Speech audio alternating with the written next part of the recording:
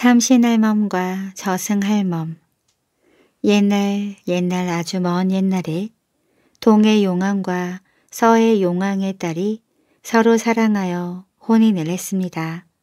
그런데 30이 넘고 40이 다 되도록 기다리는 자식이 태어나질 않았대요. 이제나 저제나 아이가 생기려나 달이 둥그렇게 떠오르는 밤이면 달님께 빌고 깜깜한 밤이면 영롱한 빛을 내는 실성님께 빌고 비가 오나 눈이 오나 3년을 하루같이 자식 낳길 빌었습니다. 그랬더니 드디어 달님 같은 공주님이 태어난 겁니다. 40이 넘어 낳은 자식이니 얼마나 귀했겠어요. 그래서 불면 날새라 쥐면 꺼질새라 곱게 곱게 길렀습니다. 그런데 너무 호호 모셔가며 키운 탓에 공주는 아주 고약한 아이가 되었습니다. 한 살 땐 어머니 젖가슴을 물어뜯고 두 살 땐 아버지 소염을 뽑고 세 살 땐 곡식을 흩뜨리고 네 살 땐 용궁 꽃밭의 꽃을 모조리 밟아놓고 다섯 살 땐 여물지 않는 열매를 뚝뚝 따버렸습니다. 동해 용왕은 공주가 고약한 짓을 할 때마다 야단도 치고 달래도 보았어요. 그러나 수그러들기는커녕 날이 갈수록 점점 더했습니다. 그러던 어느 날 공주는 정말로 엄청 큰일을 저지르고 말았습니다. 어린 물고기를 쫓아다니며 날카로운 바늘로 눈을 콕콕 찔러 장님을 만든 겁니다. 참다 못한 물고기들은 용왕 앞에 와서 울면서 호소했어요.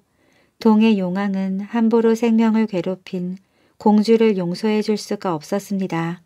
그래서 공주를 죽이기로 작정했어요. 그러나 공주의 어머니인 동해 용왕 부인은 공주가 죽게 내버려 둘 수가 없었습니다. 그래서 용왕께 아뢰었어요. 우리 속으로 낳은 자식을 어떻게 우리 손으로 죽일 수 있사옵니까? 그러지 말고 무쇠괴를 만들어 동해로 띄어보내미 어떨는지요. 동해용왕도 그러는 게 낫다고 생각했습니다. 당장 이곳을 떠나거라. 이제 더는 보기도 싫구나. 아버지 한 번만 용서해 주세요. 다시는 살아있는 것을 괴롭히지 않겠어요. 듣기 싫다. 당장 떠나라. 인간 세상에 가서 좋은 일을 많이 하면 그때 용서해 주겠느니라. 공주는 생각할수록 눈앞이 캄캄했습니다. 어머니, 제가 인간 세상에 가면 무엇을 하며 사나요? 할 줄 아는 게 아무것도 없는데. 얘야, 인간 세상에는 아기를 잉태시켜 낳게 해주는 삼신이 없다는구나. 네가 그 일을 하려무나. 그러나 공주는 어떻게 해야 아기를 잉태시킬 수 있는지 또 어떻게 낳는지 알 수가 없었습니다. 먼저 아버지의 씨와 어머니의 씨가 잘 만나도록 해서 어머니 뱃속에 넣어주어라. 그러면 열 달 후에 예쁜 아기가 태어난단다. 아기가 태어날 때는 어떻게 해야 하는지 아직 가르쳐주지도 않았는데 동해용왕은 또다시 호령을 냈습니다. 어서 무쇠개 속으로 들어가지 못하겠느냐. 이렇게 해서 공주를 넣은 무쇠개는 커다란 자물통으로 채워진 채 동해바다에 띄워졌습니다. 무쇠개는 물 안에서 3년, 물 밖에서 3년을 흘러다니다가 어느 동네에 닿았습니다. 한 어부가 바닷가에서 그물을 깊다가 떠오른 무쇠개를 보고 얼른 끌어올렸어요. 보니까 커다란 자물쇠로 채워져 있는 겁니다. 어떻게 여나 싶었는데 자물쇠에 손을 대자마자 툭 열렸습니다. 그 안에는 예쁜 아가씨가 있었어요. 아가씨는 누구시오? 나는 인간 세상에서 아기를 잉태시키고 낳게 하는 일을 하러 온 동해 용왕의 딸입니다. 이 말을 듣자 어부는 너무나 반가웠어요. 나이 마흔이 넘도록 아이가 없어 이제나 저제나 아기가 생기기만을 기다리고 있었거든요. 그래서 공주는 어부 부부가 아기를 잉태하도록 해주었습니다. 한 달, 두달 지나자 어부 아내의 배가 불러오기 시작했어요. 여덟 달, 아홉 달, 열 달이 지나 이제는 아기를 낳아야 하는데 공주는 방법을 몰랐습니다. 용궁에서 떠날 때 어머니가 아기 낳는 방법을 알려주기도 전에 쫓겨났으니까요. 열한 달 열두 달이 지나자 아기는 세상 밖으로 나오려고 어머니 배를 막 찼습니다. 어부 아내는 배를 움켜쥐고 대굴대굴 굴렀어요. 어부 아내가 대굴대굴 구르며 다 죽어가자 겁이 덜컥 난 공주는 바위 틈에 숨어버렸습니다. 어부는 안 되겠다 싶어 옥황상제에게 기도했어요. 어부의 간절한 기도는 하늘에 닿았습니다. 옥황상제는 얼른 회의를 열었습니다. 여봐라, 누가 인간 세상에 내려가 삼신이 되겠느냐. 얼른 내려가지 않으면 산모가 죽게 생겼도다. 그러자 마음씨 착한 명진 아가씨가 삼신이 되겠다고 했습니다. 명진 아가씨는 세상에 내려와 어부 아내가 얼른 아기를 낳도록 해주었어요. 그러고는 손을 씻으러 샘가로 갔습니다. 손을 씻다가 보니 바위 뒤에서 웬 아가씨가 훌쩍훌쩍 울고 있는 겁니다. 누구세요? 무슨 일로 울고 계시나요? 나는 동해 용왕의 딸로 아기를 잉태시키고 해산시키는 일을 하는 삼신인데 명진 아가씨는 나도 삼신이에요. 방금 어부의 아내가 아기를 낳도록 해주었지요. 뭐라고? 내가 삼신인데 누구 마음대로 삼신을 해? 공주는 발칵 화를 내며 명진 아가씨에게 달려들어 머리를 죄다 뜯어 놓았습니다. 명진 아가씨는 울면서 말했어요. 그럼 하늘에 가서 옥황상제께 누가 진짜 삼신인지 판결을 내려달라고 합시다. 그래서 둘은 옥황상제 앞에 섰지요. 옥황상제는 실수했구나 싶었습니다. 미리 동해용왕과 의논을 했으면 이런 일이 없었을 거라고 생각했어요. 그렇다고 삼신을 두 명 둘 수는 없었습니다. 그래서 시험을 보기로 했답니다.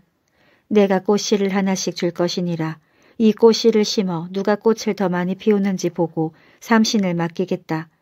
공주와 명진 아가씨는 모래밭에 꽃씨를 심고 매일매일 물을 주었습니다. 얼마가 지난 후 옥황상제는 누가 꽃을 많이 피웠는지 보러 왔어요.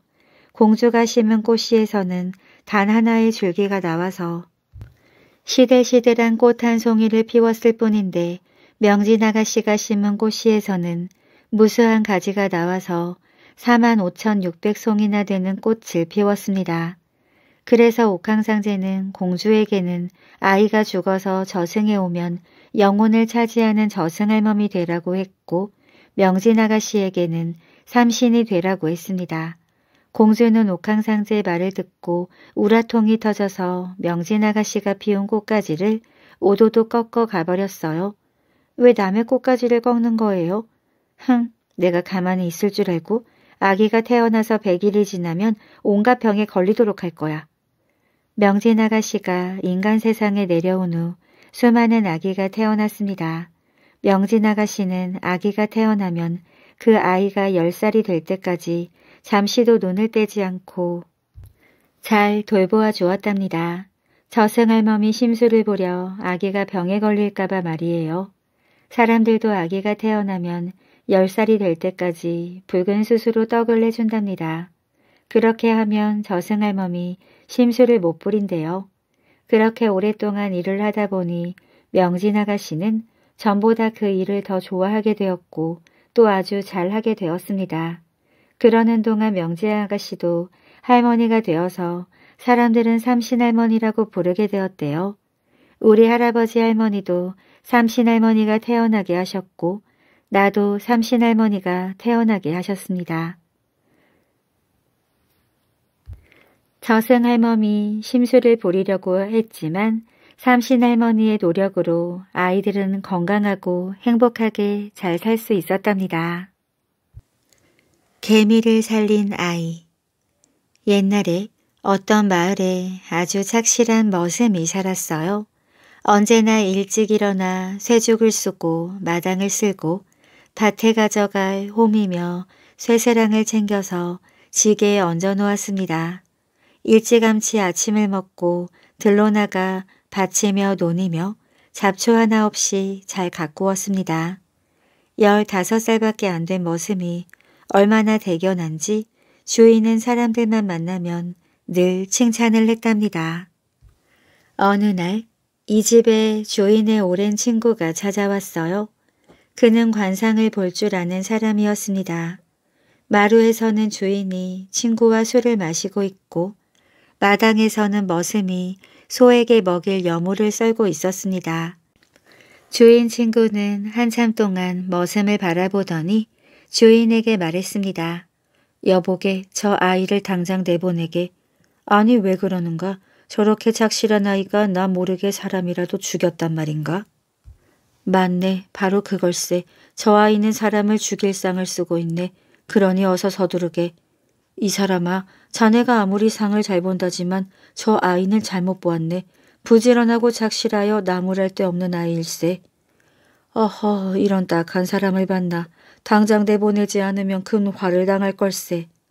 친구는 당장 큰일이라도 날 듯이 펄쩍 뛰었습니다. 주인은 할 수 없이 어린 머슴을 내보내기로 했어요. 갑자기 쫓겨난 머슴은 발길이 떨어지질 않았습니다. 이유도 모르고 쫓겨나긴 했지만 그동안 이 집에 정이 듬뿍 들었거든요. 또 어느 집에 가서 머슴살이를 할까? 머슴은 걱정도 되고 막막하기도 했습니다.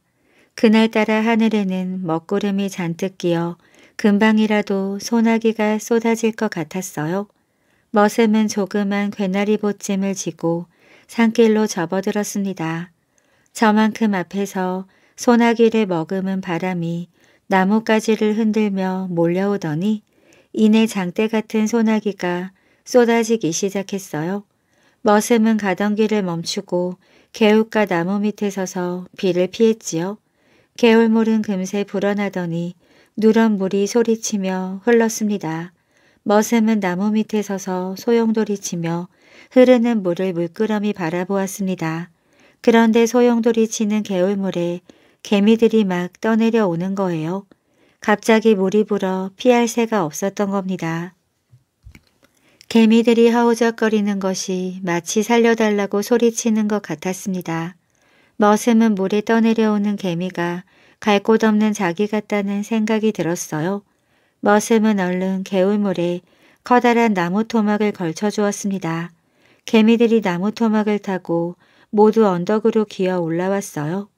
그러더니 머슴의 발등을 지나 나무 뿌리 밑으로 기어 들어가는 겁니다.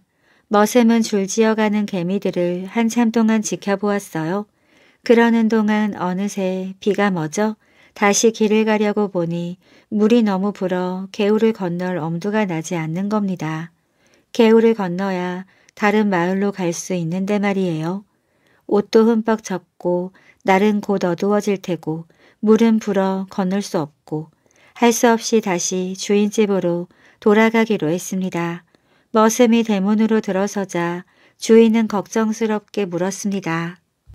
얘야 다른 데로 가라고 했는데 왜 다시 돌아왔느냐? 오늘 밤만 재워주십시오. 개울물이 불어 건널 수가 없습니다.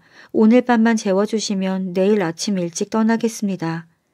그때 옆에 있던 주인 친구가 머슴을 보더니 깜짝 놀라 눈이 휘둥그레졌습니다. 여보게 저 아이 잠깐 밖에 나가 있으라고 하게 내 자네한테 기니 할 이야기가 있네. 이 사람아 또 무슨 말인가 저 아이가 귀엽고 사람을 죽이기라도 했단 말인가? 천만의 말씀 저 아이 상이 달라졌네. 도대체 무슨 말인가? 아까는 사람을 죽일 상이라고 하더니 이제는 어떻게 바뀌었단 말인가?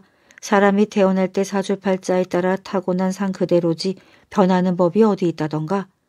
아닐세 사람의 상이란 얼마든지 바뀔 수 있다네. 저 아이도 내가 처음 볼 때는 분명히 사람을 죽일 상이었다네. 그런데 지금 저 아이의 얼굴을 보니까 나쁜 상이 말끔히 사라지고 오히려 높은 벼슬을 할 상을 쓰고 있어.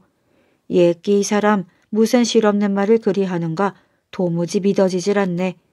자네 여러 말 말고 저 아이에게 공부를 시켜 자네 사위로 삼게 왜 자네에게 저만한 딸 있지 않는가? 주인은 친구가 꼭 농담을 하고 있다고 생각했습니다. 자기를 놀리고 있는 것이 아닌가 싶기도 했어요. 주인이 가만히 있자 친구는 자네가 사위로 삼지 않겠다면 내가 그 아이를 데리고 가서 아들로 삼겠네.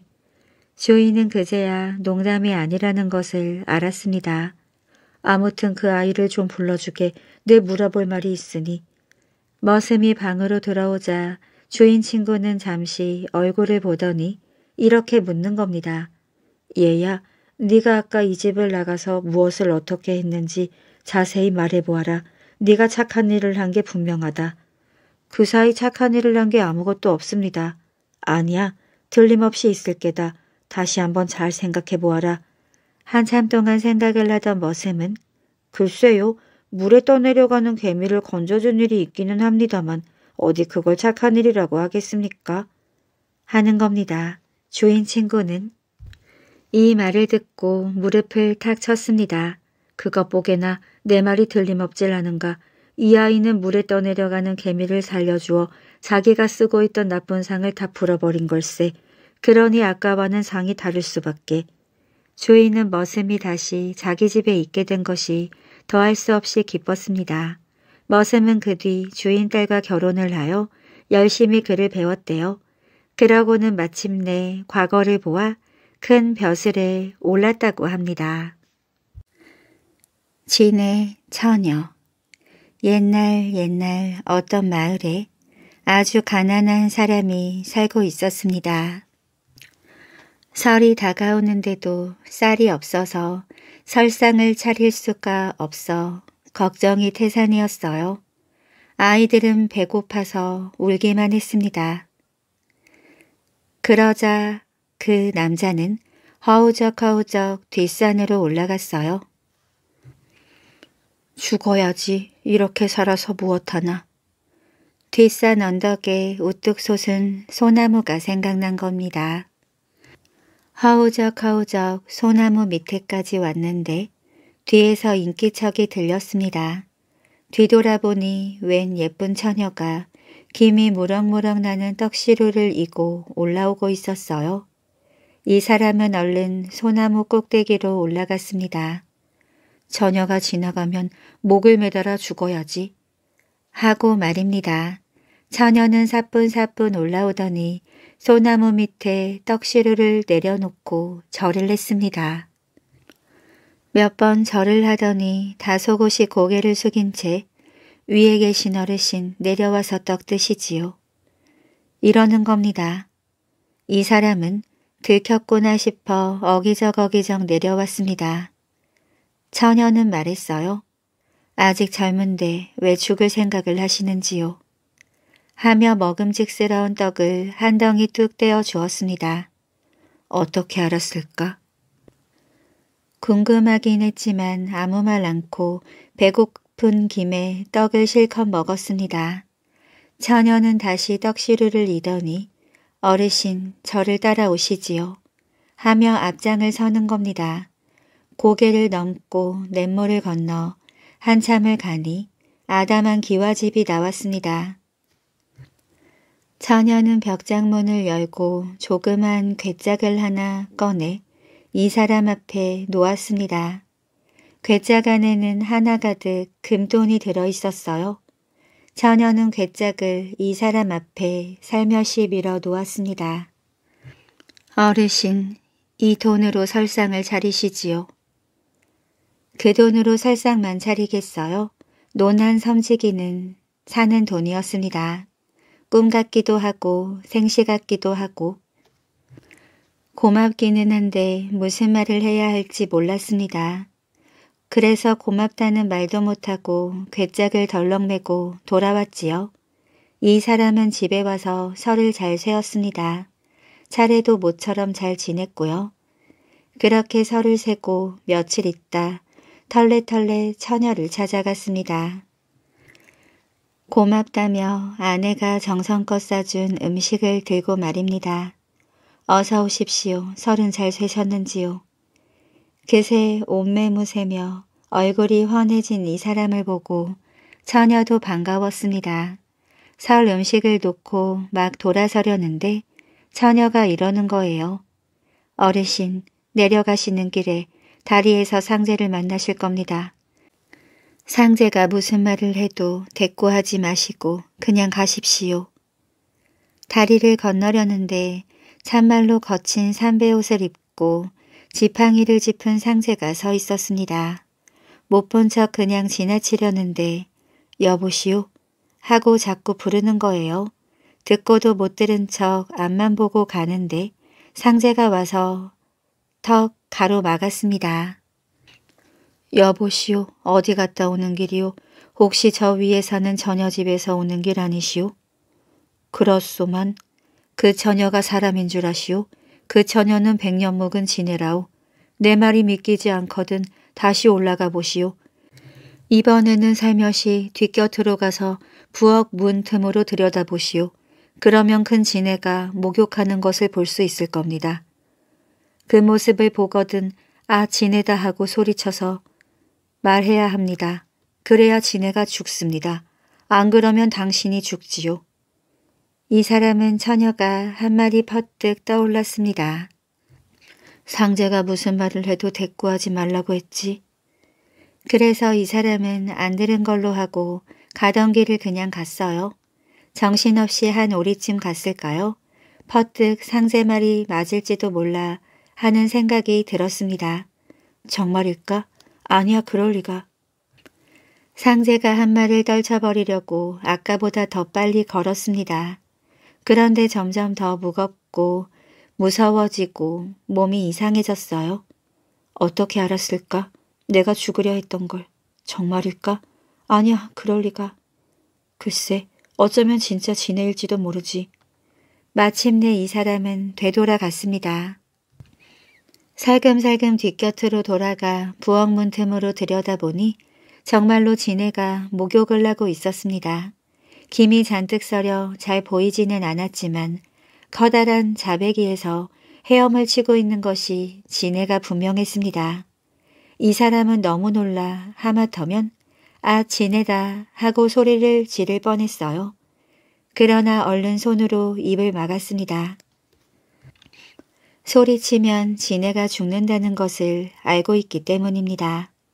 다시 살그머니 들여다보았지만 소리칠 수가 없었습니다. 차라리 내가 죽지 아무리 지내라도 우리 식구에게 살 길을 마련해준 은인인데 이 사람은 마음을 가라앉히고 앞마당으로 갔습니다. 어느새 알고 처녀가 나오는데 방금 목욕을 한 듯 얼굴이 발그스름 했습니다. 어서 안으로 드시지요 어르신. 처녀가 다소곳이 이 사람 앞에 앉았습니다. 어르신 고맙습니다.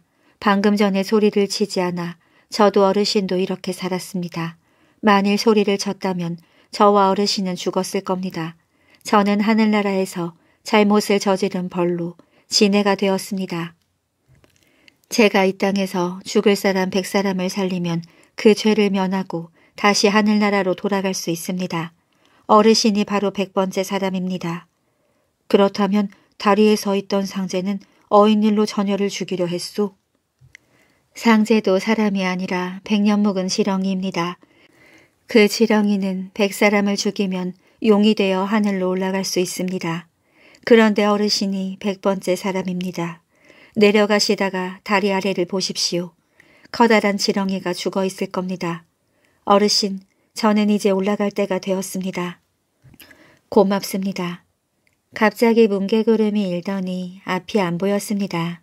얼마 있다 정신을 차려보니 처녀도 기와집도 보이질 않았습니다. 이 사람은 한바탕 꿈을 꾼 것 같았어요. 허망한 마음으로 혼자 터덜터덜 길을 따라 내려왔습니다. 다리를 지날 때 처녀가 한 말이 생각나 아래를 내려다보니 정말로 커다란 지렁이가 죽어 널브러져 있었습니다. 집으로 돌아온 이 사람은 그 이후로 죽을 생각을 한 번도 안 했대요. 그리고 아내와 아이들과 함께 행복하게 잘 살았답니다. 신기한 비단 옛날 옛날 어느 곳에 아주 높은 산이 있었습니다. 어찌나 높은지 산 꼭대기에는 항상 구름이 걸려 있어 하루도 맑을 날이 없었지요. 무시무시한 귀신이 살고 있다는 소문도 있었습니다. 그러던 어느 해 가을이었어요. 달빛 좋은 밤 산골 마을에서는 온 마을 사람들이 달 구경을 하고 있었습니다. 그런데 갑자기 하늘이 흐려지더니 바람이 불고 비가 오기 시작했어요. 나중에는 요란한 소리를 내며 우박까지 떨어졌습니다. 아이들은 소스라치게 놀라 이불 속으로 파고들었습니다. 그때 바람이 휙 불더니 느닷없이 지붕이 쿵쿵 열렸어요.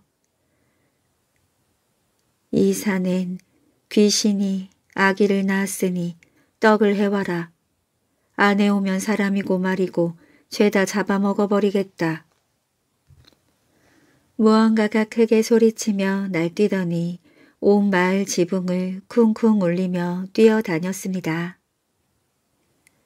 야만바라는 귀신이 아기를 낳았다고 떡을 해오라는 것이었습니다.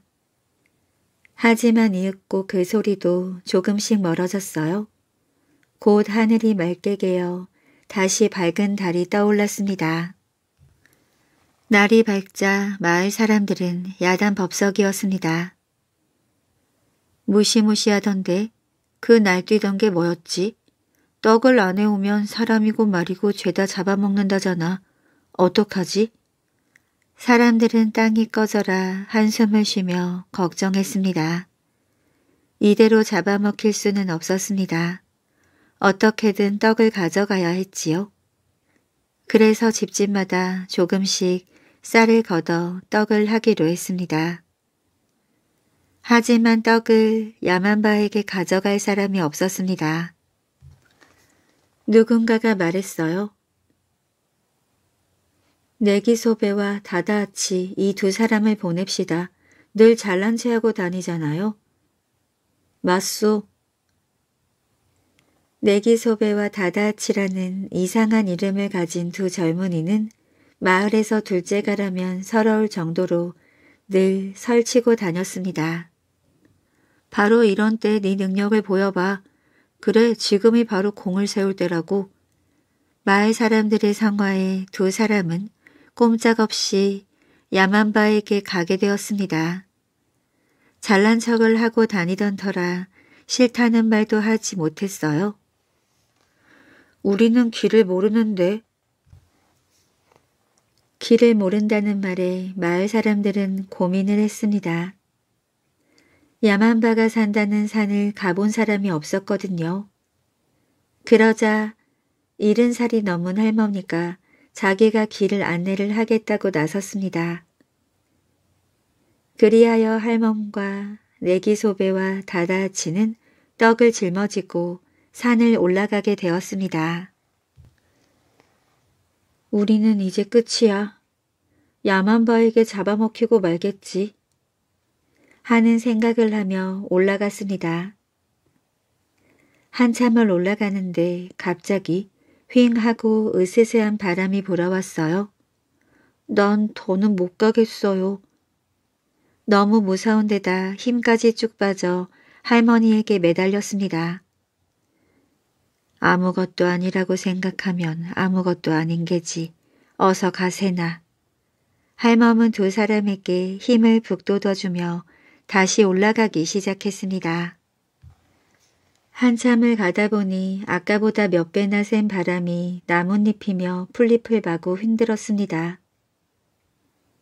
바람이 지나가기를 기다리다가 바람이 먹기에 뒤돌아보니 내기소배와 다아치의 모습은 없었습니다. 할멈은 힘이 축 빠져 그 자리에 털썩 주저앉아 생각했어요. 나까지 마을로 도망쳐 돌아가면 사람이고 말이고 죄다 잡아먹힐지도 모르지. 그래, 마을 사람들을 위해 내가 희생하는 거야. 할멈은 그렇게 마음먹고 다시 올라가기 시작했습니다. 쉬엄쉬엄 가다 보니 산 꼭대기에 가까이 도착했습니다. 가보니 오두막이 보였어요. 그 앞에서 커다란 갓난아기가 자기 머리통만한 돌을 장난감처럼 가지고 놀고 있었습니다. 이곳이구나. 할멈은 생각했습니다. 계신가요? 산기슬 마을에서 떡을 가져왔습니다. 그러자 문 앞에 천이 올라가고 야만바가 얼굴을 내밀었습니다. 잘 봤다. 내가 어젯밤에 애를 낳았거든. 떡이 먹고 싶어 저 애를 보내놓고 마을 사람들을 놀라게 하지 않았나 걱정하던 참이다. 할멈은 놀라 벌어진 입을 다물 줄 몰랐습니다. 어젯밤에 심부름 온 게 저 갓난애였다고요? 야만바의 아이라서 태어나자마자 곧바로 날아다닌 것입니다. 떡은 어디 있지? 떡이 어찌나 무겁던지 올라오는 길에 놓고 왔습니다. 그래? 그럼 네가 가서 가져오너라. 야만바는 아기에게 명령했습니다. 아기는 일어서자마자 곧바로 날아갔어요. 눈 깜짝할 사이에 떡통을 메고 돌아왔습니다. 이젠 곰을 잡아오너라. 고물고와 국을 끓여 먹어야겠다. 거기에 떡도 넣고 할멈한테도 주거라. 아기는 금세 손에 곰을 들고 돌아왔습니다. 그렇게 셋은 어마어마한 큰 냄비에 화롯불을 활활 피워 곰국을 끓였습니다. 거기에 떡을 넣어 배부르게 먹었지요. 이제 저는 마을로 돌아가겠습니다. 할멈이 말했습니다. 그리 서두를 거 없다. 여기는 심부름할 사람이 없으니 스무 하루 동안 나를 좀 거들어다오. 할멈은 하는 수 없이 집에 가기를 포기하고 일을 도왔습니다. 물도 깃고 발도 주물러주고 오늘 잡아먹힐까 내일 잡아먹힐까 불안해하며 지냈습니다. 그렇게 스무 하루가 지났어요. 할멈이 말했습니다. 집에서 걱정하고 있을 테니 이제 돌아가고 싶습니다. 그래 고생했다. 나도 이제 몸이 좋아졌으니 집에 돌아가도 좋다. 내 큰 보답은 못하나 비단 한 피를 줄 테니 가져가거라. 그렇게 말하고 고운 비단을 할멈에게 주었습니다. 이 비단은 아무리 써도 다음 날이면 다시 원래대로 돌아오는 신기한 비단이다. 마을 사람들이 감기 한번 안 걸리고 아무 탈 없이 잘 살도록 내가 보살펴주지. 아가야, 할머니를 업어다 발에다 드리거라. 저는 걸어서 갈 거구먼요. 할멈은 놀라 손을 휘저었습니다. 하지만 아기는 눈 깜짝할 사이에 날아와 할멈을 등에 들쳐업고 말했습니다. 눈을 감아요. 할멈은 눈을 감고 등에 꼭 달라붙었습니다. 귓가로 바람이 스쳐 지나갔어요. 할멈은 쿵 하고 땅바닥에 내려졌습니다. 눈을 떠보니 그곳은 놀랍게도 할멈 집 앞이었습니다. 아가야 좀 쉬었다 가려무나. 할멈이 그렇게 말했을 때 아기의 모습은 이미 온데간데 없었습니다. 할멈이 집 안으로 들어가려는데 불경을 외우는 소리가 들렸습니다. 우는 소리도 나는 걸 보니 누가 죽은 것 같습니다. 누가 죽었소? 모여있던 마을 사람들은 눈을 휘둥그레 뜨고 깜짝 놀라 야단 법석이었습니다. 귀신이다. 귀신이라니. 날쎄, 내가 돌아온 거야. 정말이에요? 정말 할멈이 살아 돌아온 거예요? 마을 사람들은 눈물을 흘리며 기뻐했습니다. 자, 자, 비단을 나누어 주지. 할멈은 마을 사람들에게 비단을 잘라주고 또 잘라주었습니다. 할멈의 손에는 아주 조금밖에 남지 않았어요. 그런데 걱정이 없습니다. 하룻밤만 자고 나면 비단은 원래 그대로 돌아오니까요. 마을 사람들은 태어나서 처음 보는 비단이 신기했습니다. 그래서 보자기로 만들어 들고 다니기도 하고 옷도 지어 입으며 집안의 보물로 삼았답니다. 그 뒤로 마을 사람들은 할머니 덕분에 감기 한번 안 걸리고 편안하게 잘 먹고 잘 살았답니다. 원수 갚은 도깨비 어느 마을에 건망증이 몹시 심한 아저씨가 살고 있었습니다. 점심을 먹었는지 안 먹었는지도 잊어버려서 몇 번씩이나 점심을 먹다가 배탈이 날 정도였지요. 어느 날 밤 아저씨는 냇가로 개를 잡으러 나갔습니다. 보통 때 같으면 넓적 바위 틈으로 개들이 벌벌 기어다닐 텐데 그날은 한 마리도 보이지 않았습니다. 아니 어째 개가 한 마리도 안 보이네. 아저씨는 자리를 옮길까 어쩔까 하다가 귀찮은 생각이 들어서 조금 더 기다려 보기로 했습니다. 얼마나 지났을까요? 등 뒤 숲속에서 바스락거리는 소리가 났습니다. 아저씨가 은근히 겁이 나서 고개를 돌리려는데 갑자기 도깨비 한 마리가 달려들었습니다. 아 깜짝이야. 웬 소리를 그리 지르냐? 아저씨의 비명소리에 도깨비도 놀랐는지 거칠면서 재미난 목소리로 화를 냈습니다. 그 목소리를 듣고 아저씨는 무서웠던 마음이 조금 가라앉았습니다. 아니 도깨비님 여긴 무슨 일로 오셨소? 아저씨가 짐짓 아무렇지도 않은 척하며 물어보자 도깨비도 노린내 나는 몸을 들이대며 말했습니다. 요새 메밀묵이 어찌나 먹고 싶은지 미칠 지경이야. 메밀묵을 쑤어주면 개를 많이 잡아 해줄게. 거칠은 도깨비의 목소리가 시냇가에 울려 퍼졌습니다. 아저씨는 아까부터 개가 나오지 않은 것이 이 도깨비의 장난 때문이었다는 것을 그제야 알아차렸습니다. 도깨비님, 내 메밀묵은 쑤어드리리다. 그런데 지금은 쓸 수 없으니 먼저 개부터 떠내려 보내주시오. 도깨비는 내일 밤에 꼭 메밀묵을 써주겠다는 아저씨의 말을 믿고 개를 떠내려 보내기로 했습니다. 약속대로 개들이 넓적 바위로 기어나오기 시작했어요. 아저씨는 개를 정신없이 바구니에 주워 담았습니다. 하도 기분이 좋아서 콧노래가 절로 나왔어요. 도깨비는 도깨비대로 내일 먹을 메밀물 생각을 하며 무척 즐거워했습니다. 그런데 다음 날 아저씨는 그 약속을 깜빡 잊고 말았습니다. 건망증 심한 아저씨에게는 아주 당연한 일이었는지도 모릅니다.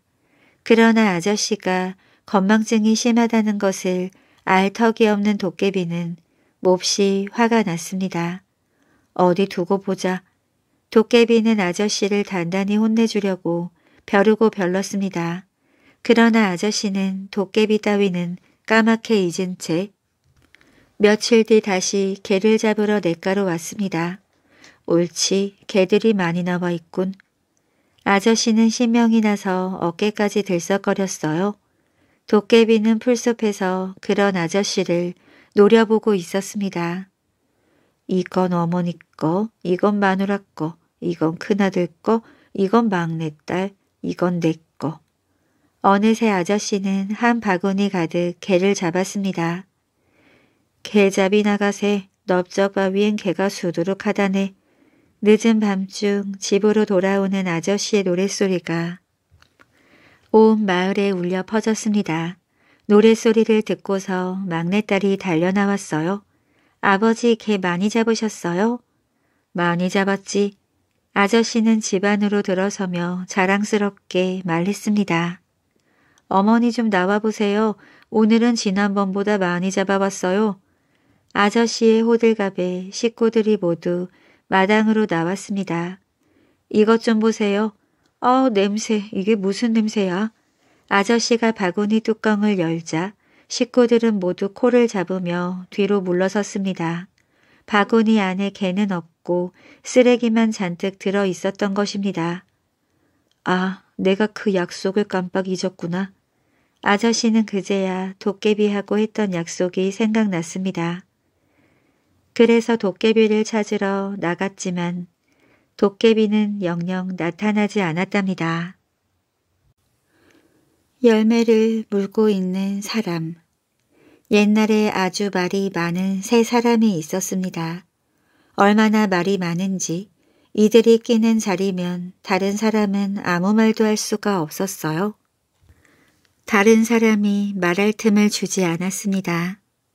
그래서 서로 이야기하다가 이 사람들만 끼면 슬금슬금 자리를 피했어요. 말을 많이 하다 보면 꼭 남의 말을 하게 되고 남의 말을 하다 보면 좋은 말보다는 나쁜 말을 더 많이 하게 되니까 말입니다. 또 품앗이를 할 때도 일하는 시간보다 말하는 시간이 더 많으니 누가 좋아하겠어요? 해서 친구가 별로 없었답니다. 그런데 이상한 건 친구만 없는 것이 아니라 재물도 안 모이는 겁니다. 그래서 세 사람은 산신령에게 물어보려고 길을 떠났습니다. 고개를 넘고 또 고개를 넘어 말 많은 세 사람은 산신령을 찾아갔어요. 산신령은 세 사람에게 생전 처음 보는 황금 열매를 하나씩 주면서 이것을 물고 지내면 재물이 모인다고 했습니다. 그리고 1년 후에 이 열매를 다시 가져오라고 했어요. 다른 말은 없이 말입니다. 세 사람은 그 열매를 입에 물고 집으로 돌아왔지요. 그리고 하루가 지나고 이틀이 지났습니다. 밥 먹을 때만 옆에 잠깐 빼놓고는 하루 종일 입에 물고 있으니 얼마나 힘이 들었겠어요? 남이 무슨 말을 해도 멀뚱멀뚱 쳐다보기만 해야 하고 하고 싶은 말이 있으면 손짓 발짓으로 해야 하니 말입니다. 열흘이 지나고 한 달이 지나자 두 사람은 열매를 뱉어서 주머니 속에 넣어 놓았습니다. 입에 물고 있으나 주머니에 넣고 있으나 마찬가지야. 1년 후에 갖다 주기만 하면 되지 뭐. 입에서 열매를 뱉어낸 두 사람은 다시 전처럼 말을 많이 하고 다녔어요. 그런데 한 사람은 여전히 열매를 입에 물고 다녔습니다. 아침에 일어나면 얘야 새숨을 떠놓아라 시켰는데 말을 할 수 없으니까 직접 나가서 새순물을 떠서 했습니다. 식구들이 보니 달라진 게 한두 가지가 아니었어요. 외양간 치워라, 앞밭에 김을 매라, 농물 보아라 하며 입으로만 한몫 보던 사람이 말없이 나가서는 묵묵히 일을 했습니다. 저녁이면 이웃집 사랑방에 마실을 갔다가 첫 딸기 올 때야 돌아오더니 마실 가는 대신 초저녁에 일찍 잠자리에 들고 아침에는 일찍 일어나 삽을 들고 논으로 나갔습니다. 동네에 큰일이 생겨도 마찬가지였어요. 전에는 이 핑계 저 핑계를 대며 잘도 빠지더니 이제는 말을 할 수 없으니 몸으로 때울 수밖에 없었습니다. 동네 사람들은 산신령을 만나러 가더니 벙어리가 되어 왔다며 안돼 했지요. 하지만 사람들은 그 사람을 전보다 더 좋아하게 되었습니다. 어느덧 산신령과 약속한 1년이 다 되었어요. 두 사람은 주머니에 넣어놓은 열매를 꺼내 보았습니다. 그런데 이게 무슨 일이지요? 글쎄 열매가 까맣게 썩어 있었습니다. 입에 물고 있던 열매는 멀쩡한데 말이에요. 그래서 입에 물고 있던 사람만 산신령에게 열매를 돌려주었답니다. 그 후 끝까지 열매를 물고 있던 사람은 친구도 많아지고 재물도 많이 모아졌대요. 열매를 물고 있을 때처럼 쓸데없이 남의 말을 안 하니 말입니다. 그리고 말로 하는 것보다는 자기 손으로 직접 하는 일이 소중하다는 것을 깨달았답니다. 말로 얻은 색시 옛말에 말을 잘하면 자다가도 떡이 생긴다는 말이 있습니다. 아무리 화가 나도 아무리 급한 일이 있어도 깊이 생각한 다음 말을 해야 합니다. 옛날에 어떤 아이가 살았는데 그 애는 밤만 되면 부엌에다 오줌을 누웠대요. 날씨는 춥고 밖은 깜깜하고 요강에다 노자니 창피하고 그래서 부엌에다 오줌을 누기로 한 겁니다. 하룻밤이면 모르겠는데 밤마다 오줌이 마려운 겁니다. 그때마다 부엌으로 달려가 아궁이에다 대고 오줌을 누웠어요. 그런데 부엌에 사는 조왕신이 참을 수가 있어야지요. 밤마다 오줌을 누니 지린내가 얼마나 났을까요? 화가 난 조왕씨는 산신령한테 달려갔습니다. 우리 집에 사는 아이놈이 밤마다 부엌에서 오줌을 누워 내가 죽을 지경이요. 이놈을 혼 좀 내주시오. 산신령도 고약한 생각이 들어 호랑이에게 잡아먹으라고 했습니다. 그날 밤 호랑이가 내려와 이 집 대문에서 둘이 둘이 살피고 있었습니다. 그것도 모르고 아이는 또 오줌을 누러 부엌으로 들어갔지요. 그날은 다른 날보다 날씨가 더 추웠습니다. 그래서 아이는 오줌을 누면서 나는 집에서도 이렇게 추운데 호랑이님은 산에서 얼마나 추우실까? 하고 중얼중얼 한 겁니다. 밖에 있던 호랑이가 이 말을 듣고 저렇게 마음 착한 아이를 어떻게 잡아먹나 대신 예쁜 색시나 하나 얻어주어야겠다 하며 돌아갔습니다. 호랑이는 예쁜 색시를 얻어주려고 동네마다 찾아다녔어요. 그런데 마침 한 동네에 가니 혼인잔치가 벌어진 겁니다. 색시는 연지 찍고 곤지 찍고 방 안에 예쁘게 앉아 있고 사람들은 잔치 음식을 만드느라고 야단 법석이었습니다. 호랑이는 색시가 있는 방 안으로 훌쩍 뛰어 들어가 얼른 물고 달아났습니다. 색시 집에서는 호랑이가 색시를 물고 갔다고 난리가 났지만 찾을 수가 없었어요. 호랑이는 색시를 물어다가 아이네 집 마당에다 던져놓았습니다. 쿵 소리가 나서 뛰어나가 보니 어떤 색시가 기절해서 널브러져 있는 겁니다. 아이는 얼른 이 색시를 방으로 데리고 들어와 따뜻한 아랫목에 눕혔습니다. 그러고는 물을 끓여 입에 흘려넣고 미음을 쑤어서 조금씩 떠먹였지요. 한참을 그러고 나니 색시가 눈을 부스스 떴습니다. 며칠 후 색시는 몸이 다 나았어요. 아이가 잘 돌봐주어서 말입니다. 색시는 자기를 살려준 은인이라며 아이와 결혼을 했습니다. 그 후 둘은 오래오래 행복하게 잘 살았다고 합니다. 돈양 주고 산 이야기 옛날 옛날에 할머니와 할아버지 두 분이 살고 있었어요. 두 분이서만 사니까 얼마나 심심했겠어요. 무엇을 하면 심심하지 않을까 아무리 생각해도 좋은 생각이 떠오르지 않았습니다. 하루는 할머니가 할아버지한테 이야기를 한 자로 사오자고 했습니다. 심심할 때마다 꺼내서 들으면 좋을 것 같아서였어요. 할아버지는 옳거니 하고는 이야기를 사러 돈 두 냥을 들고 나갔습니다. 어디 가서 이야기를 사올고 하며 들판으로 나갔는데 웬 사람이 논두렁에 앉아 쉬고 있었습니다. 할아버지는 그 사람 곁으로 가서 이야기 하나 파시오 했습니다. 그 사람은 무심코 그러시오 하고 대답은 했는데 할 이야기가 없었습니다. 그런데 그때 마침 황새 한 마리가 훌쩍 날아와 논바닥에 내려앉는 거예요. 이 사람은 그걸 보고 훌쩍 내려앉는다 라고 했습니다. 할아버지는 그것이 이야기인 줄 알고 얼른 훌쩍 내려앉는다 하고 말을 받았습니다. 이번에는 황새가 먹이를 찾느라고 기웃기웃하니까 이 사람이 기웃기웃한다 하고 다음에는 황새가 무언가를 찾았는지 들여다보니까 들여다본다 하고 그러다가 황새가 먹이를 집어먹으니까 집어먹는다 한 겁니다. 할아버지도 이야기가 훌쩍 날아갈까봐 기웃기웃한다, 들여다본다, 집어먹는다 하며 얼른 얼른 받아서 꼭꼭 챙겼지요. 황새가 먹이를 다 먹고 훨훨 날아가니까 이 사람은 황새가 날아가는 것을 보며 훨훨 날아간다 하고 말했습니다.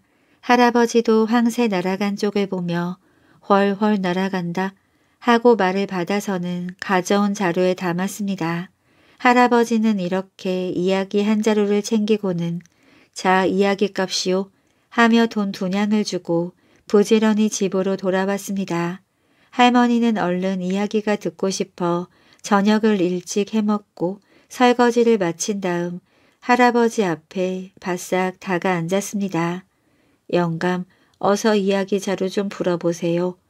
할아버지가 이야기를 시작하려고 하는데 그때 마침 도둑 하나가 담을 훌쩍 뛰어 넘어오는 겁니다. 그때 할아버지가 훌쩍 내려앉는다 하니까 도둑이 깜짝 놀라 내가 들어오는 걸 보고 있나 하며 사방을 기웃기웃 했습니다. 그때 또 기웃기웃한다 하니까 도둑놈은 정말 저를 보고 그러나 하고 문구멍으로 방 안을 살짝 들여다보았지요. 그러자 안에서 들여다본다 하는 겁니다. 앞불싸 들켰나 보다 싶어서 부엌에 가서 숨으려고 실실 기어가다 보니 소단에 푹 삶아놓은 콩이 있었습니다. 도둑놈은 배가 고파 얼른 한 움큼 집어먹었지요. 그때 방 안에서 집어먹는다 하는 소리가 들렸습니다. 도둑은 방 안에서 자기가 하는 짓을 하나하나 다 보고 있구나 생각하고는 얼른 뒤돌아서 담을 훨훨 넘었습니다. 더 있다가는 잡혀서 큰일이 날 것 같았으니까요. 훨훨 날아간다 하는 소리가 들리자 틀림없구나 내가 하는 짓을 모두 다 보고 있어 하고는 아무것도 훔치지 않고 도망을 갔습니다. 도둑은 도망을 치면서도 내가 도둑질하러 들어간 것을 할아버지가 어떻게 알고 있었을까? 하며 궁금해서 견딜 수가 없었습니다. 그래서 다음날 아침 생선짐을 지고 그 집으로 생선을 팔러 갔습니다. 그러니까 할머니가 나와서 생선 한 마리를 들고 할아버지가 있는 방에다 대고 영감 이놈을 잡을까요 말까요? 하고 소리쳤습니다. 도둑은 이 말을 듣고 앞뒤도 안 가리고 주랭랑을 쳤지요. 생선짐은 그대로 놔두고 말입니다. 자기가 도둑질하러 들어갔던 걸 알고 잡을 거냐고 묻는 줄 알았답니다. 이래서 할아버지는 두냥 주고 이야기를 사서 온 동네 잔치를 할 만큼 많은 생선을 얻었다고 합니다. 욕심쟁이 부자 옛날에 욕심 많은 부자가 살았습니다. 얼마나 욕심이 많은지 무엇이든 손안에 들어오면 절대로 안 놓고 누구에게 무엇을 빌려주면 꼭 두 배, 세 배로 받았다고 합니다. 이 사람은 관가에서 공물을 거두는 아전일도 보았는데 나라로 들어갈 공물을 한 점 두 점 빼내어 날이 갈수록 재산이 늘어났습니다. 그러나 꼬리가 길면 잡히는 법이지요. 결국은 사또한테 들켜서 매를 50대나 맞게 되었대요. 부자는 겁이 덜컥 났습니다. 누가 나 대신 맞을 사람 없나? 옳지 작년에 소장료를 못 낸 이서방을 대신 보내야겠군. 부자는 아침 일찍 이서방을 찾아갔습니다. 살인문을 열고 들어서며 어이 이서방 안에 있나? 했습니다. 그런데 이서방 부부는 보이지 않고 어린 아들만 마당에서 놀고 있는 겁니다. 너 참 귀엽게 생겼구나. 그래 올해 몇 살이냐? 방금 잠자리가 날아갔어요. 아니 이놈아 몇 살이냐니까. 방금 잠자리가 날아갔다니까요. 이놈 조그만 녀석이 어른을 놀리다니 혼이 나봐야 알겠느냐? 부자는 주먹을 눌러대며 호통을 쳤습니다. 아이는 뒤로 주춤 물러서서는 잠자리는 다리가 여섯 개예요. 나도 여섯 살이었는데 방금 날아갔다는 건 이제 일곱 살이란 말이에요. 하니까 이놈아 그런 걸 내가 어떻게 알겠느냐. 잠자리 다리가 네 개인지 여섯 개인지는 잠자리를 잡아본 너 같은 아이나 알지. 그건 그렇고 네 애비애미는 어디 갔니? 아버지는 낫을 가지고 밤을 밝히러 가셨고요. 어머니는 물에 빠진 놈 바지 벗기러 가셨어요. 부자는 또다시 부하가 났습니다. 바른대로 말 못해 어디로 무엇을 하러 갔냔 말이다. 아버지 어머니는 나한테 그렇게만 말했어요. 저도 몰라요. 아이도 화가 나서 쏴 붙였습니다. 그래서 부자는 할 수 없이 그 집 살인문을 나서기는 했지만 알 수가 없었어요. 낫을 가지고 밤을 밝히러 갔다. 옳거니 알겠다. 나 모르게 수수밭에 가서 밤새워 수수를 다 베는 게야. 부자는 한달음에 수수밭으로 갔습니다. 이서방, 걔 있는가? 걔 있거든 어서 나오게 죄는 묻지 않을 테니. 그러나 바람에 수수잎만 흔들거릴 뿐 기척이 없었습니다. 부자는 높이 떠오른 해를 보며 점점 몸이 달았어요. 관가에서 자기를 잡으러 올 시간이 거의 다 되었거든요. 안 되겠다. 여편에라도 찾아봐야지. 그런데 물에 빠진 놈 바지 벗기러 갔더니 누가 물에 빠졌을까? 부자는 강을 향해 달려갔습니다. 강가에 가보니 누가 있겠어요? 아무도 없었지요. 도대체 물에 빠진 놈도 옆편에도 없으니 어떻게 된 일이야? 부자는 몸이 달아 괜히 이서방 하고 소리쳐 보았지만 헛 일이었습니다.